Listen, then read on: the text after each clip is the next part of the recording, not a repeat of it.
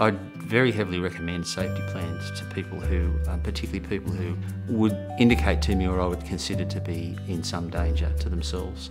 I first heard about safety planning with my psychologist and it followed a suicide attempt. An important part of my safety plan was identifying people who I would call my inner circle, the most trusted people.